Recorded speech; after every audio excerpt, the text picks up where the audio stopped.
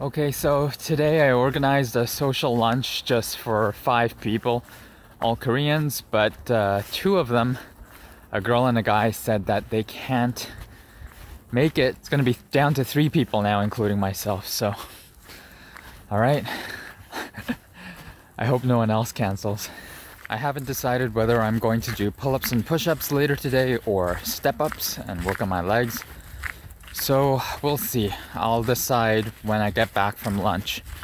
Might skip legs and do pull ups and push ups. We'll see.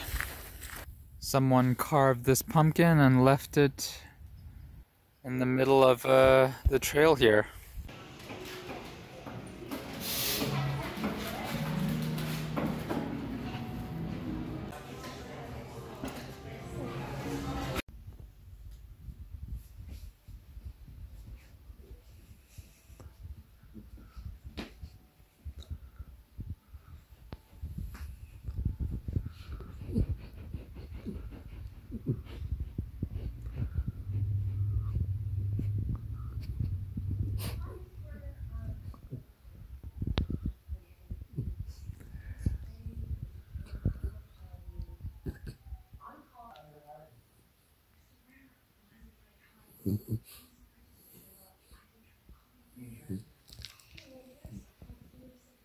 It's 8.30 p.m. Last time I did seven failures on each leg.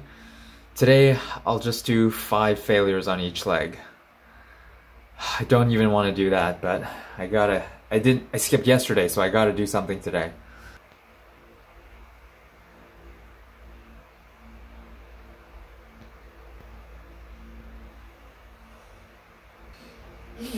Oh.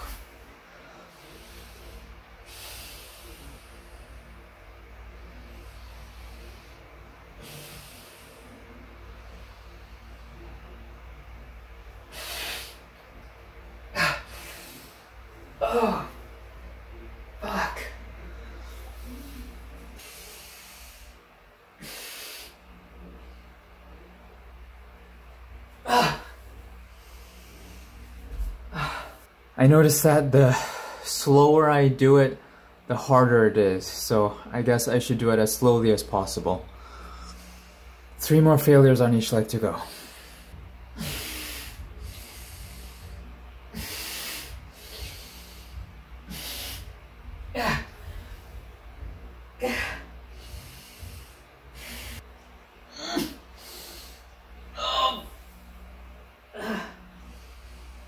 Fuck me. It's just under 10 minutes. Well, about 10 minutes because I started the timer a bit late, so just over 10 minutes. God damn, that was actually still tough, even though I did five failures until and, and instead of seven failures. Man, I did it. I didn't want to work out again. I was full because I was snacking after late afternoon after lunch. So with a full stomach, I didn't want to work out, but because yesterday I didn't do a workout, I had to do it today, and I got a comment saying that I should at least do half the workout if I'm not gonna do the full workout. And that makes so much sense, right?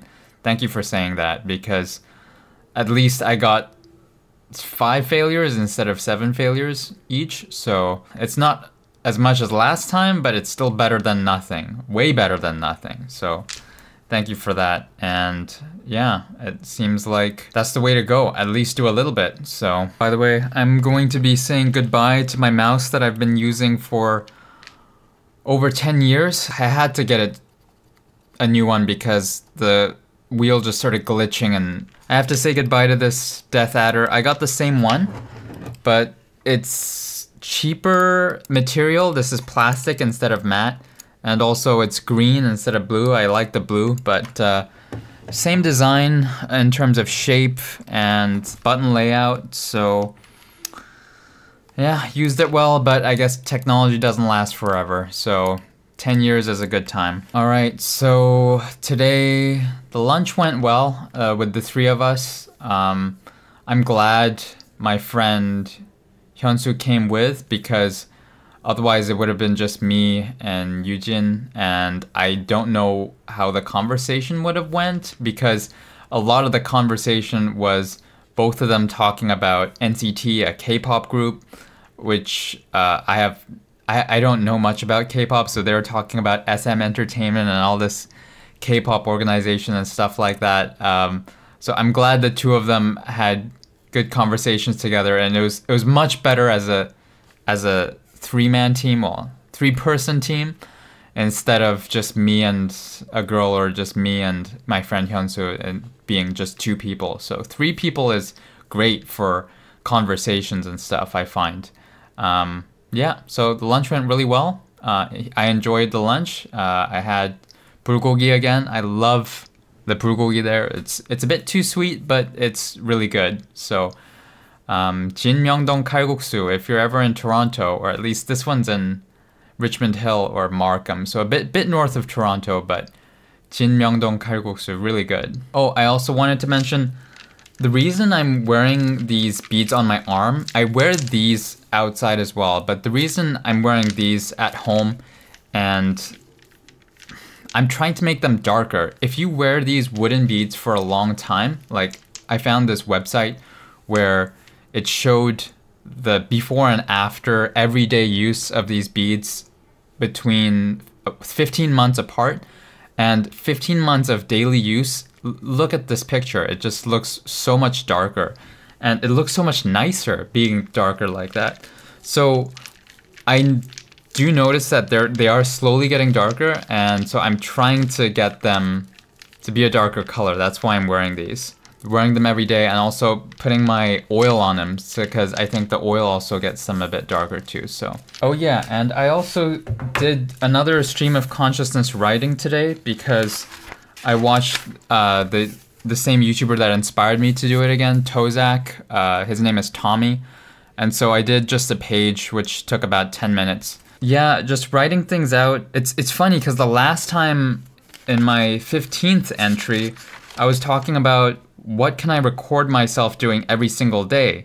And I said uh, I could do daily priority writing, walking, working out. Oh, and stream of the stream of consciousness exercise, free flow exercise, talking to the camera freely for like 10 minutes. Um, and since then, which was October 27th, uh, Friday, and today, November 4th, Saturday, which is just a week and a day later, um, I I kind of solved that problem. I started recording my workouts and my walks a little bit as well.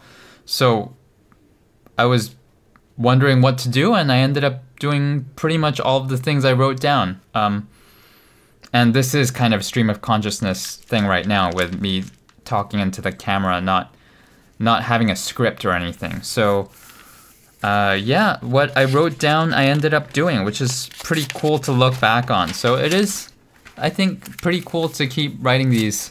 So I think I'll continue that. It's just that it takes time and I have to make time for it. This guy Tozak talked about journaling and talked about in the morning setting an intention for the day, setting intentions for the day of what you want to get done or what you want to do, what you want to focus on, and then also journaling at night about how do you feel? How do you feel and reflecting on your feelings so that you can notice what caused those feelings and then adjust accordingly. So doing things that make you feel good and avoiding things that make you feel bad.